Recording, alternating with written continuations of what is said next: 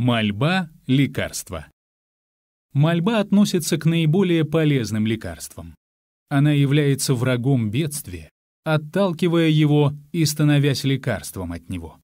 Она препятствует его приходу и избавляет от него, или же облегчает его, если оно все-таки постигает человека. Это оружие верующего. Оно может взаимодействовать с бедствием тремя способами. Первый. Мольба может быть сильнее бедствия, и тогда она отталкивает его. Второй. Мольба может быть слабее бедствия, и тогда бедствие одолевает ее, и все же постигает раба Аллаха. Однако мольба, даже будучи слабой, облегчает это бедствие.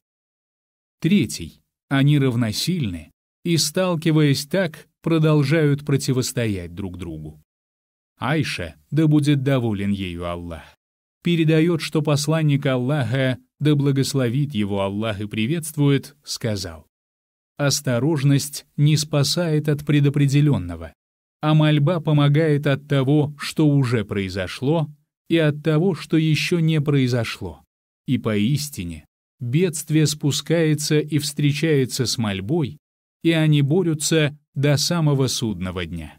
Привел Аль-Хаким ибо Номар, да будет доволен Аллах им и его отцом, передает, что пророк, да благословит его Аллах и приветствует, сказал, «Поистине мольба помогает от того, что произошло, и от того, что еще не произошло. Обращайтесь же к Аллаху с мольбами, о рабы Аллаха». Привели от Тирмизи Аль-Хаким.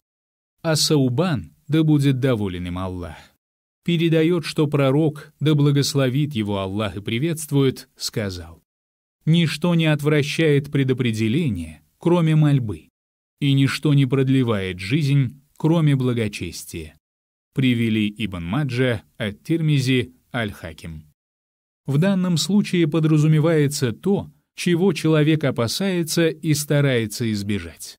Если этому с позволения Всевышнего будет противопоставлена мольба, то Аллах отвратит от него эту беду. Тухфат аль-Ахвази.